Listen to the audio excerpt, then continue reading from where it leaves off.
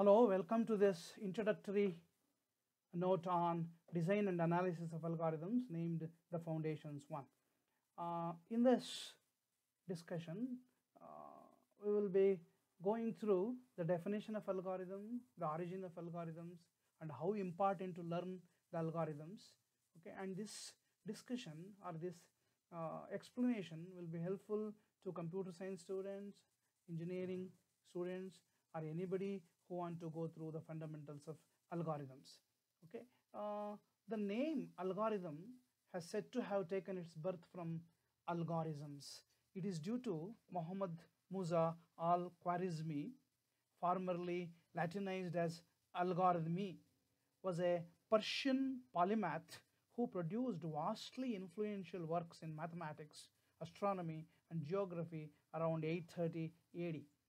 Okay, mm, he is the person. Algorithm is a term used generally uh, in computer science to connote problem solving methods.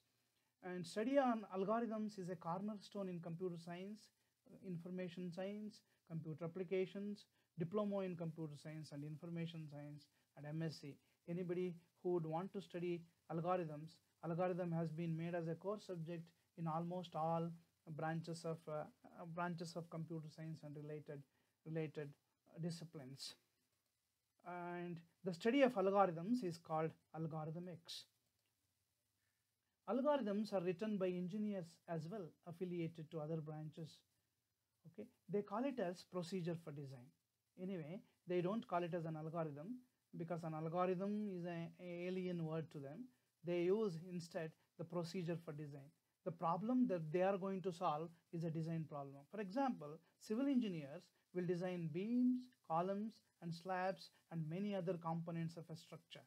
Okay, when they start the design, the, the very first step is very first step is assuming the dimensions of cross-sectional dimensions of the uh, component that they are contemplating to design, the cross-sectional cross-sectional dimensions of a column, cross-sectional dimensions of a column and slab and they will proceed further in a step-by-step -step manner along with the codal provisions of that particular country in which they are designing and finally they will prove that the assumed dimensions are adequate enough to, to resist, to bear the loads. If at all, if at all it is not adequate, when they find it to be inadequate, they redesign it they redesign it by increasing slightly the dimensions that they assumed in the beginning okay? And anyway for civil engineers it, the design procedure is iterative in nature. And in the same token mechanical engineers will design machine parts by by considering all possible dynamic loads and fatigue effects okay etc etc and they will design each and every component in order to arrive at a complete design of a machine machine uh, through machine components okay? And chemical engineers do design plant de plant designs chemical plant designs and they will design boilers okay? And they don't call it as an algorithm once again they call it as a design procedure. And electrical and electronic engineers it is well known that they will design circuits circuitry. But okay there are compelling reasons for the people affiliated to computer science information science computer applications etc with the advent of computers. Okay? There are several reasons okay to justify uh, justify as to why the algorithms has been a core subject for them. Okay? Uh, uh, the first reason could be they should be informed about some important and classical algorithms that that are existent from time immemorial. They should be knowledgeable about them. Uh, and it is also to empower an individual from this stream with the problem solving capability right?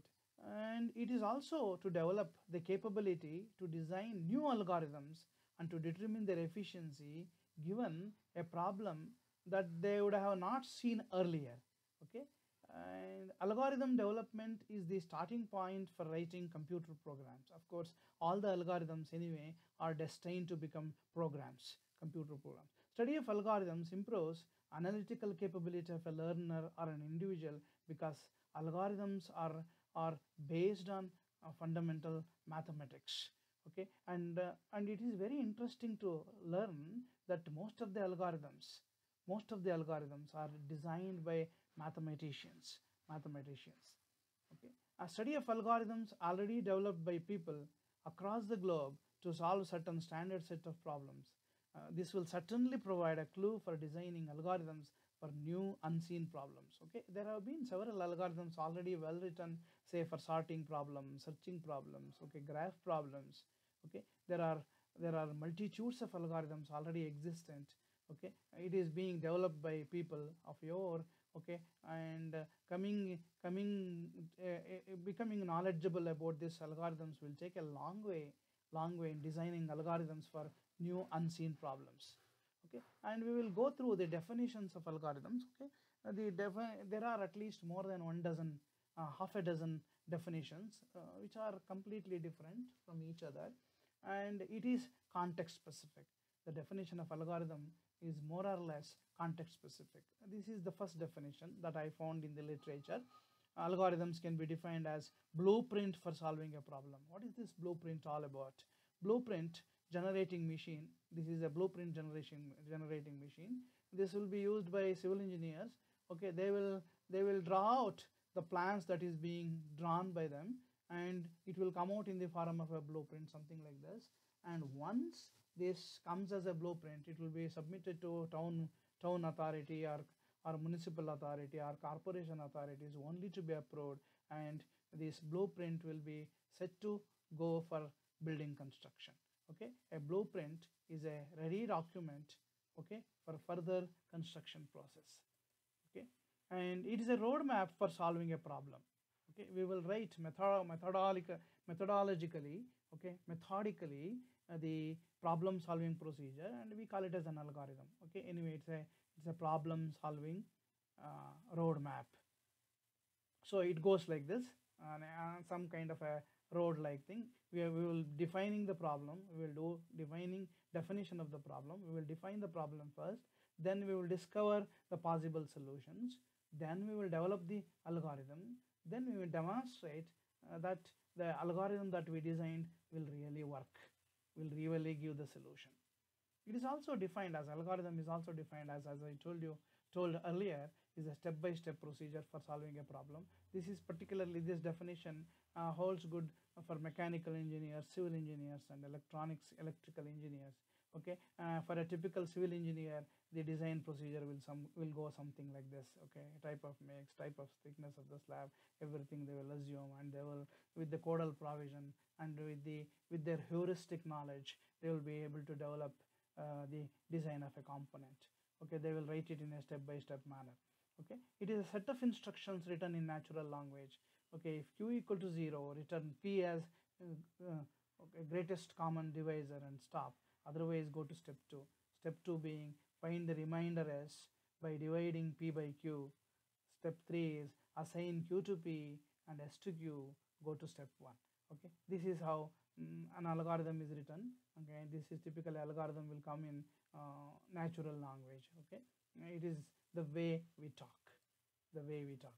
Uh, it is a well defined computational procedure comprising a sequence of steps for solving a particular problem. This is another yet another definition okay? And here are the steps. Algorithm sum average read x comma y comma z. Sum is equal to x plus y plus z.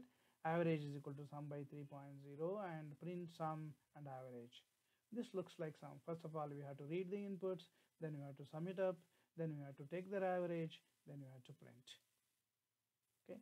And it is a procedure for solving a problem which is ready to be converted into a program using some high level language. So all algorithms are destined to become a program.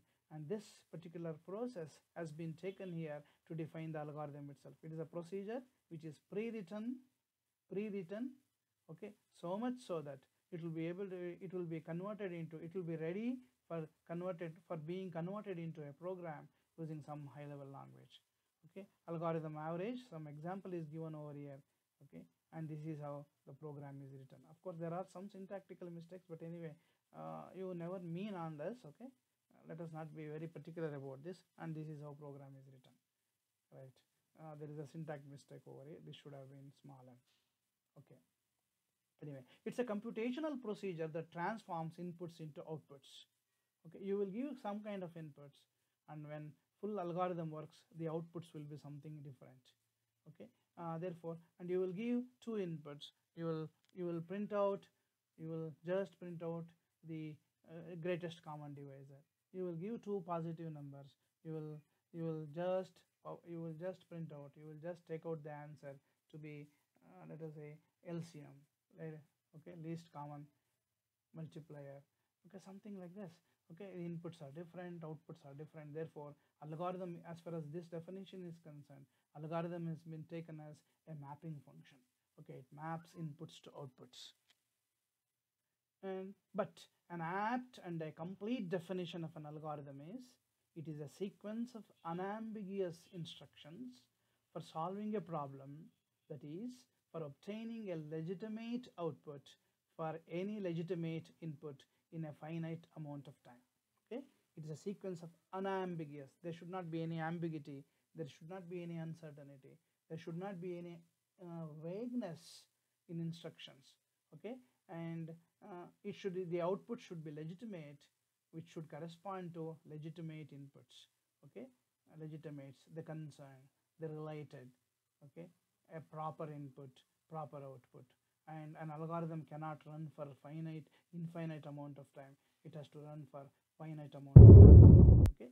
But a very important point to note is an algorithm itself is not a solution for a problem. It is only a problem solving procedure.